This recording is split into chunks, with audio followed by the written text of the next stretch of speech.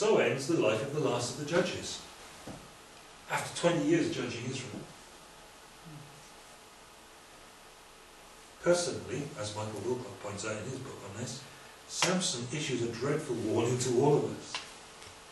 Because he was a man of enormous potential, who never grasped that the Spirit's call to holy discipline is even more important than the Spirit's gifts. That a dangerous thing to say?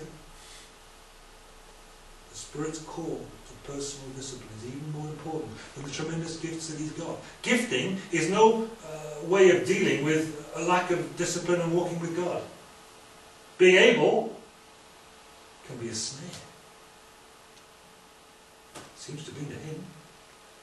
Because all the time he was indulging these weaknesses of his, he was getting away with it by just coming out and picking up the city gates and walking off then. There you go.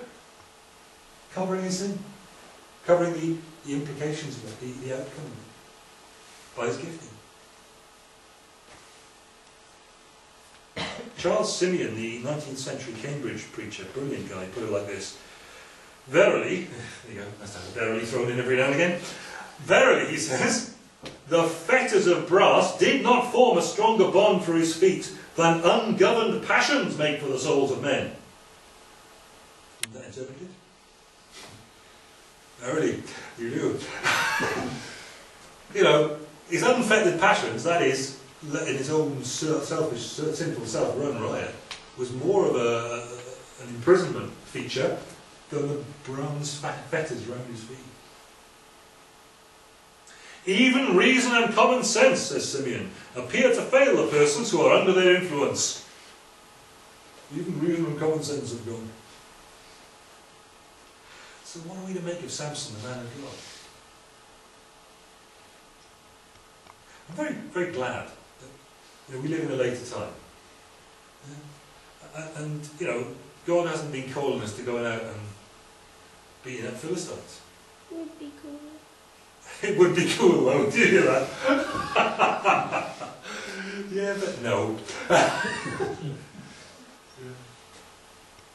Samson's living in a particular, particularly difficult time when there is no government, there is no state, there is no safety, there is no protection. These people live in tents, not walled cities, remember? And God has called him to something absolutely unique in a difficult, awful, bad situation. First of all, then you won't get Samson at all unless you reckon on the fact that he's living in a time long before God's fullest revelation in Christ, in the age of the Spirit, with a completed Bible.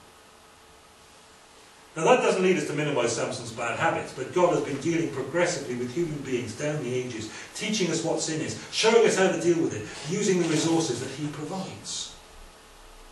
Gordon Keddie again says, the Christian of the New Testament has more light than Samson ever did. More light than Samson ever did. But Truth to tell, he still has the old, same old darkness clinging to him.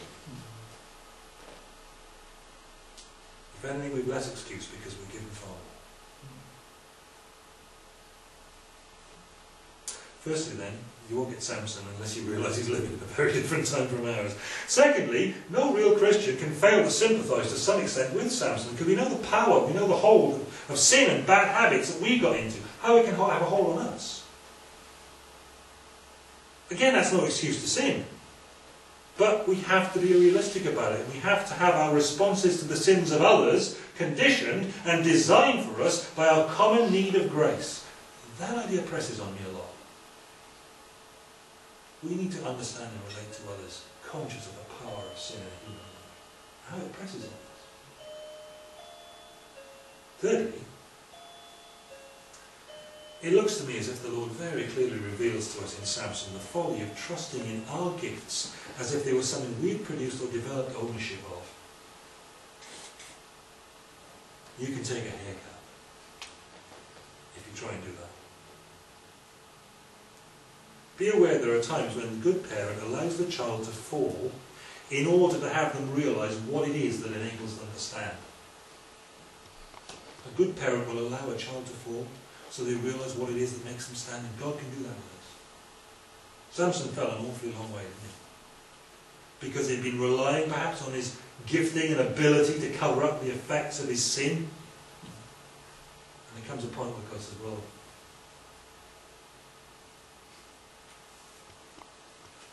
Let's see how you stand with that.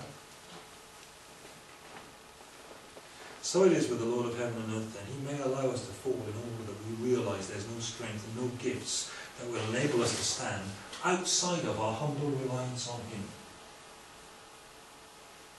The Bible calls this faith. Yeah? We've got to watch our hearts. Because the best of gifts will fail us but the one we trust never will. We're going to make a Samson fourthly, shortening list. Fourthly, God seems to have designed Samson not simply to draw a line in the sand against the Philistines, a line the people of Israel had not observed, which had led them to just becoming like the Philistines all around them and wandering away from God. God seems also to design Samson to sum up in one perfect flawed hero the weakness of the people's relationship to God in the time of the Judges. We identify with the people we're amongst as well. Sadly, we soak up too much from them. Very clear warning to people of later generations after Israel had found peace. we've got to learn, fifthly, the importance for overall usefulness of a life that is faithful to God's call so that we can finish well. Because it's very dicey to think that you can live a life that isn't faithful to God and yet still finish well. Do you know a terrible thing? I've seen that sort of thinking fail somehow. I've seen it more than once. It's the habit of a life that's built as a life is lived faithfully that enables a man and woman to finish well at the end. This man is the last of the judges, but again, as Keddie points out, Samson's trumpet called not so much the last post, but the reveille for an era of significant spiritual reformation that's coming on the back of his work, which he will never see, but which God is going to do because he's been and